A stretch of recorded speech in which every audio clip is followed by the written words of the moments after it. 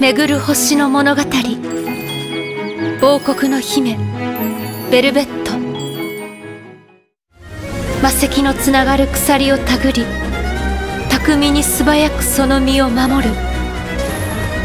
どれほど過酷な道を行こうとも鎖は彼女の盾となろう。繰り出される一撃は劣化のごとく凄まじい。地へと天へと敵を払う。祈りの炎は彼女の意志のもと行く手を阻む全てを燃やす。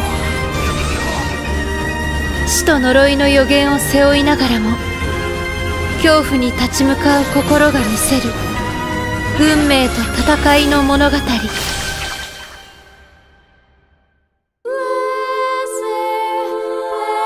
オーディンスフィアレイブ・スラシル。